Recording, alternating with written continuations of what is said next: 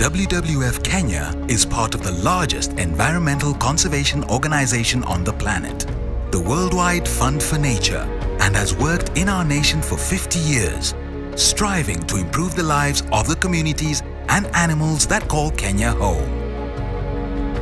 WWF seeks to build capacity for local communities and secure a healthy natural environment while empowering them to protect and benefit from it. Our community-based approach ensures sustainable management of the ecosystem so that the communities, their businesses and the environment can all thrive. By managing resources and ecosystems to support communities, WWF ensures that people live in harmony with nature.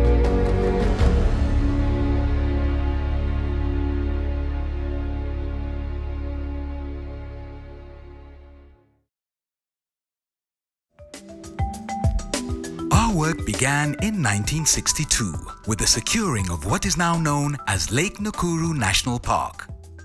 WWF has been present implementing projects in Kenya for the last 50 years. The first project that WWF implemented was to secure the land that is now called Lake Nakuru National Park, which was bought with money that WWF provided and transferred to government to provide habitat for endangered species that include black rhinos. Initially in 1960s, the government of Kenya used to own just a part of the lake. Then uh, in 1974, uh, WWF came in to assist the government of Kenya to purchase uh, almost three quarters of the land from the farmers and ranchers living around the lake to increase the size of the park. And uh, then the park increased from about 60 uh, square kilometers to 188 square kilometers. So WWF have done a great uh, work in conservation of the biodiversity by making sure that uh, this park is conserved well. When you see the lake and you see the rich biodiversity that this park has, you'd really want to work in such a place. Thanks to the conservation efforts, Lake Nakuru National Park has preserved its great biodiversity and become one of the most visited parks by both local and international tourists. For 50 years, WWF Kenya and its partners, including the Kenya Wildlife Service, have focused on wildlife conservation efforts with three global flagship species at the center of our work. African elephants, marine turtles, and the black rhino. Kenya Wildlife Service and WWF has partnered since the inception of KWS in 1990. We've grown this partnership particularly in the area of species management, in the elephant and the rhino programs. Together, WWF and KWS are spearheading the use of technology in rhino and elephant management. By tagging these species with GPS-enabled microchips, they are able to track movements in real time. This improves conservation efforts and assists in minimizing human-wildlife conflict. But this work is only the beginning. WWF is supporting Kenya Wildlife Service to establish a forensic lab. The information from the forensic lab helps us to build a baseline information on the species that we have. It also helps us in collecting evidence that can be used to prosecute criminals in court of law. Together, these conservation efforts are making a huge difference. When the partnership began, there were less than 300 rhinos. Today, there are over 1,000 and the elephant population has grown at the same time from 16,000 to 30,000. While WWF Kenya's initial focus was on wildlife conservation, we have since expanded to include the management of scarce water resources, conservation of disappearing forests, climate and energy work, governance programs, and the management of marine resources. Along Kenya's coast, we address sustainable natural resource management and biodiversity conservation with a focus on empowering and economically improving the communities who live there.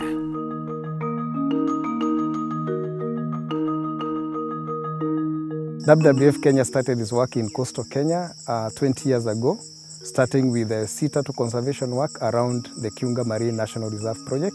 Later on, this uh, expanded to include a population health and environment program. And uh, later still, uh, the work expanded to include forestry and education for sustainable development. Another intervention that we've had is the sustainable fisheries management, where we encourage fishermen to adopt sustainable fishing methods that enhance the fisheries resources in the area. We have worked towards improving access to credit and savings facilities for the local communities. We helped establish the Rasini Fisheries Cooperative in Faza, and now it is working very well. Fishermen are able to get loans to be able to buy gear and the fishing crafts. We formed a Racine Fishermen Cooperative in 2006. As an individual, you cannot solve the problem, but together we can solve the problems. Mimi nilikuwa maskini, nikapatiwa msaada wa pesa na WWF, nikaunda chombo, kisha alafu tukashirikiana, tukawa unda chama, WWF ikatujengea ofisi, tukajiendeleza. In addition to working with cooperatives, we have a whole community approach and as such support the construction of local schools and dispensaries in various coastal communities. Coastal Kenya is home to four of the world's six turtle species, and since its inception, WWF has worked to protect this threatened animal. We have found ways of making turtle conservation beneficial to communities. Uh, for example, we have the flip-flop business where the youth and women work together to clean the beaches and uh, collect the flip-flop that are used to make crafts and uh, sellable items. Uh, basically, we are turning trash into cash. Zamani bichi yetu ilikuwa ni chafu, ilikuwa kukifanyika poaching. So baada ya hapo ikakuja WWF ikakaa chini na sisi ikatufunza namna ya kufanya beach patrol ili tupunguze poaching. So baada ya hapo ikatufunza kufanya beach clean. E, na upande wa kufanya beach clean ili tutoe flip flop hapa tupeleke Kiwayo.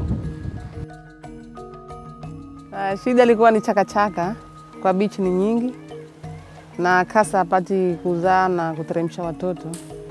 Shirika la WWF likaja likatuelimisha kurokota takataka na tukafanya biashara flip flop. Coastal Kenya is undergoing a lot of change in terms of development, and this will affect the environment and the livelihoods of the local communities. The work that we do goes to ensure that uh, communities uh, can, able, can be able to mitigate the adverse effects of this, this development.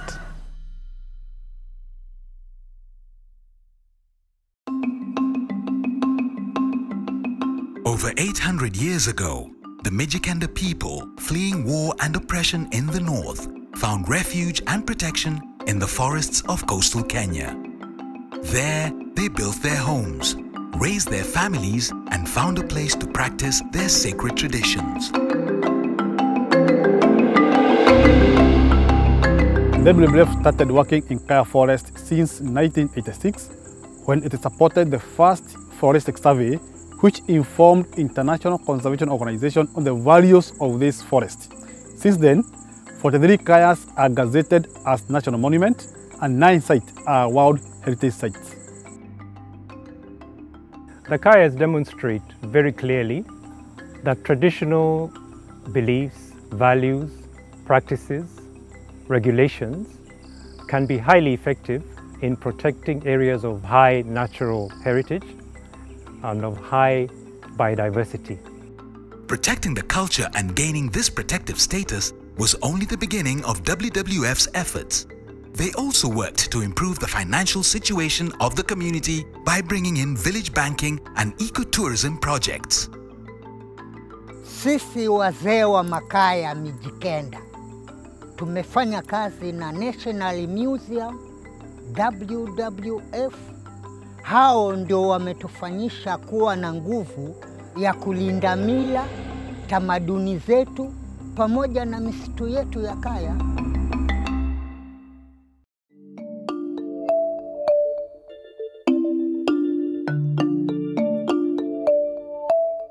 The Awer people are originally Antas and Kataras living deep inside the Boni Dodori forest. These people were unknown to the rest of the Kenyans and had no access to government services. WWF came into Boni Dodori because it's part of the global priority area and part of the coastal East Africa forest.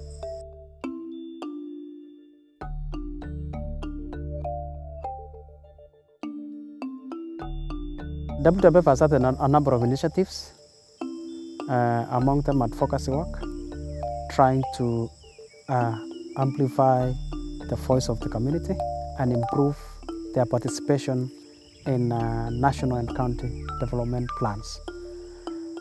Through the effective advocacy program, capacity has been built among the Awer people and the community empowered to speak for their rights and in turn has gained support from the government. WWF did not stop there, also working directly with the community to improve their agriculture. Wakati ule wa nyuma sisi tukilima karibu nusu kwa nusu ilikuwa inaenda na wanyama wa pori, lakini wakaleta teknoloji ingine, mashamba ikilimwa, unaweza weka ua kwa mtaro katika pembe zote nne, wanyama hawawezi kuingia, na ambapo sasa ndio imefaidisha sisi kwa kiwango kikubwa sana. Wale walikuwa wanapata kama gunia tano, sasa hivi wanapata gunia 30, 40 kuendelea mbele.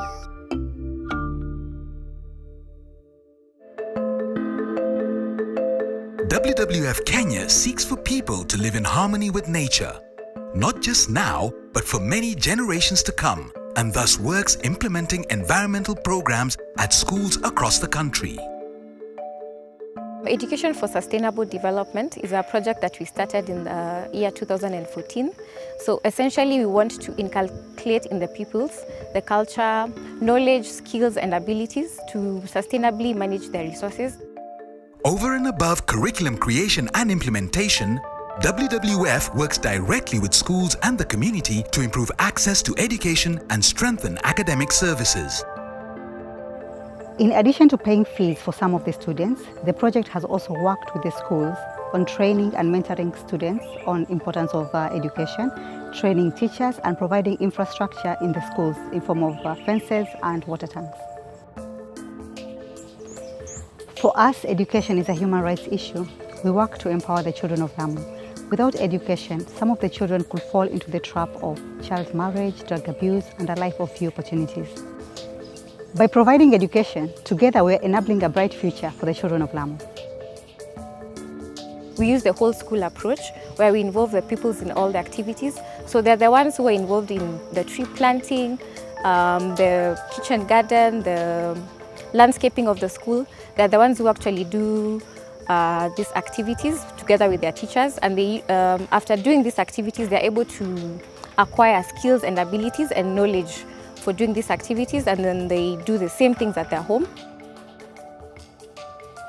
What we are doing is very important because we realize that how we are using our resources right now, we are already borrowing from the future generations. So we want to use the resources that we have sustainably so that the future generations can also be able to enjoy the same resources that we are enjoying right now. Our future plans is to really reach to very many schools who can also reach now to very many uh, villages so that you can have a critical mass of the population who are using their resources sustainably.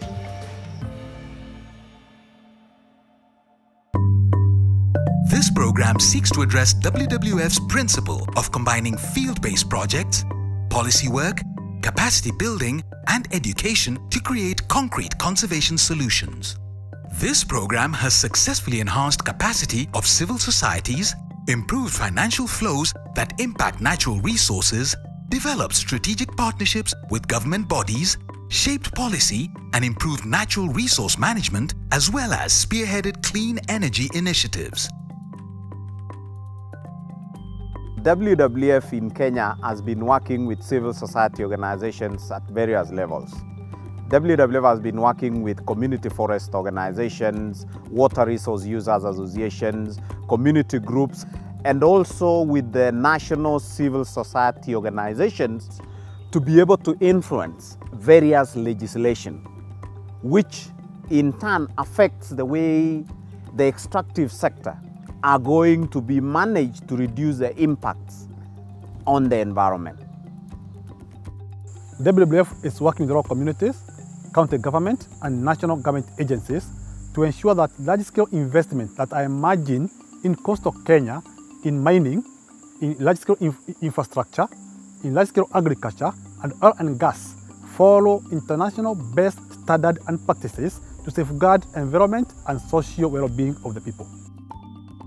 WWF works on the ground with community members to ensure their immediate environment is both protected and working for them.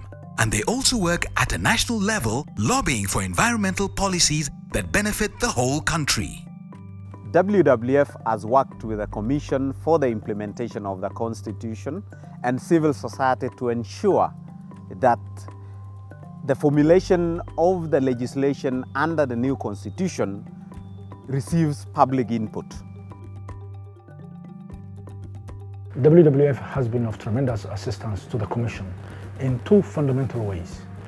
The first part that WWF has been able to support us is the technical expertise and advice that we have received from WWF on matters pertaining to natural resources as a whole. But the other part that the WWF has been of assistance to us is in fulfilling a constitutional mandate in the development of legislation in this country. WWF also works to support economic empowerment by setting up village banking with their project cooperatives. Through these, members take loans that allow them to open shops, improve their gardens, buy a boat, or start a small business. Kinondo Village Bank ilianzishwa mwaka elfu mbili na tatu na uhifadhi na, na shirika la WWF na azma yake ni kuhifadhi mazingira na kuleta maendeleo kwa jamii. Tulianza na elfu tano na mpaka sasa tumepeana kiwango cha juu 550,000 na loni yote tumepeana 84 milioni. WWF works to combat climate change through a variety of creative initiatives. One example is the use of solar predator deterrent lights to mitigate the dangers lions pose in and around the national parks. Across the country, solar lights and high-efficiency cooking stoves reduce the damaging environmental effects of conventional methods. WWF wametusaidia kutupatia sola ambazo watoto wetu wanasoma hata usiku bila wasiwasi, na tukapatiwa majiko ambayo kuni moja au mbili. Our work has gradually grown to cover freshwater and forests. The focus on this has been in the Mau, Mara, Serengeti, and Naivasha landscapes. The African Rift Lakes program spans three countries and is one of the 35 global outstanding priority places identified by WWF. Here, we are piloting integrated water resource management programs, engaging with the private sector, strengthening civil society, and developing a payment for environmental services program to secure this crucial watershed.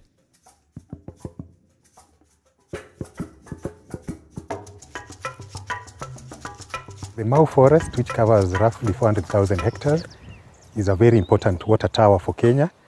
It's the source of 12 rivers, one of them being the Mara River. So over the past four decades, uh, the Mau Forest has really suffered. We've lost approximately 40% of the Mau. Before, there was encroachment. People could just go in and out and take what they want. And there was general destruction of the forest. Years of illegal logging and encroachment threatened the survival of the Mau. In 2008, Kenyans united in the fight to save the forest, and various NGOs took over responsibility for sections of the forest. WWF adopted three blocks and began a program of protection, education, and economic development.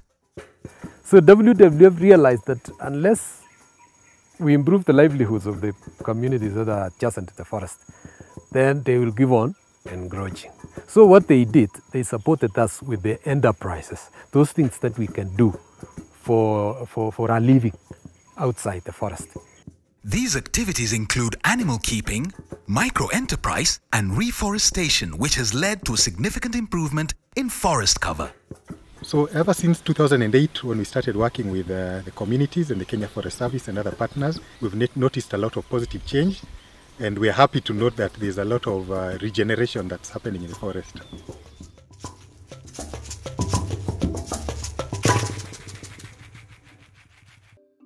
Along the Mara River, which flows from the Mau Forest, WWF set up a Water Resources Users Association made up of downstream beneficiaries, including game parks and industrial farms. This association assists upstream local farmers, helping them improve their crops and livelihoods, and thereby ensuring downstream farms and wildlife receive a continuous flow of life supporting water. Water is important for people, park, and the animals because that is what we use in our day to day life. And also, when you look at the Mara River, it is the only river which passes through the Masai Mara Game Reserve. So the wildlife, uh, the, the wildlife with down the Mara depend on it, and the communities living within the Mara also depend on it. There has been an improvement in, in water quality and quantity due to these efforts which we have put in. Since that, since uh, there is less erosion due to farmers practicing good soil and water conservation in their farms, and also the improvement of the tree cover has uh, ensured that there is more infiltration on the ground, thus sustaining the, the flows of the river.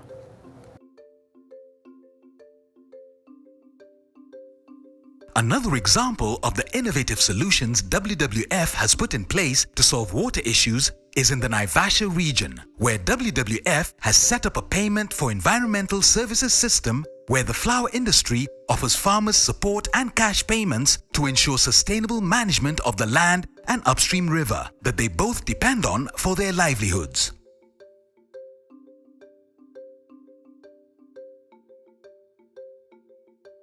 Having conservation structures on their farm has resulted in improved yield as well as incomes.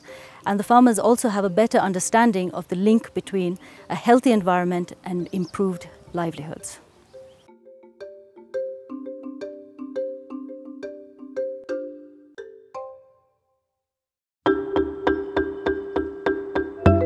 Most successful programs we had was in the Lake Bogoria Basin, where we mediated a conflict between two communities and implemented a series of creative water programs that allowed the river not just to flow to all the farms and the lake, but even created excess to sell to neighboring towns, encouraging a thriving water cooperative. The region was in conflict. Upstream farmers were using up all of the water, and downstream farmers, as well as the lake, were left with nothing.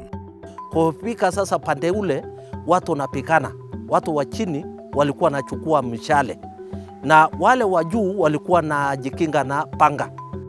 Without intervention, the communities would be at war. The farmers would not have water, and the animals would be dying, destroying tourism and income for the region. After 14 years working in this region, uh, I must say that we are quite proud as WWF as people are peaceful now, people are wealthier than we found them, there is plenty of water, and people are living in harmony with nature.